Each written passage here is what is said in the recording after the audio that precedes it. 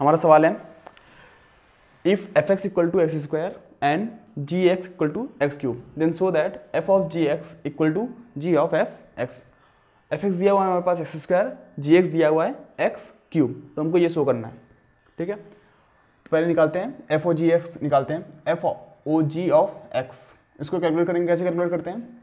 F of g of x ये हो जाएगा f of g of x g of क्या दिया हुआ है? एक्स क्यूब अब एफ़ ऑफ़ एक्स क्यूब निकालना है हमको तो क्या करेंगे? फ़ंक्शन में एक्स के जगह पर क्या रखेंगे?